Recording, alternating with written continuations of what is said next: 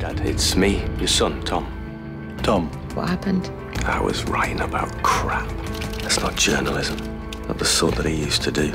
The man has got Alzheimer's. Wendy! So what's this Wendy thing all about then? She was his secretary. His head seems to be stuck in that time. I recognise you.